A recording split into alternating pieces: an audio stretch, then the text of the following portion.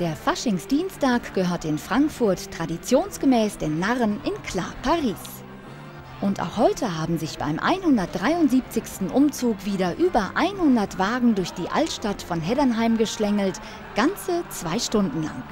Für eingefleischte Heddernheimer ist der Faschingsumzug ein absolutes Pflichtprogramm und den meisten Teilnehmern gefällt er auch sehr gut. Ich bin schon seit 50 Jahren auf dem Zug hier. Das ist der schönste Zug.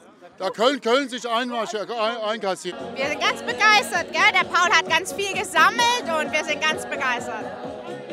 Sag mal was. Sag mal hello.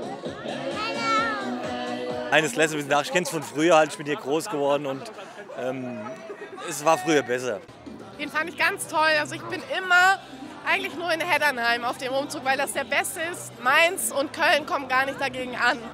Die beste Stimmung weit und breit, die hat Klar Paris zur Fastnachtszeit und das seit 1839. Diese Tradition muss man erst mal nachmachen.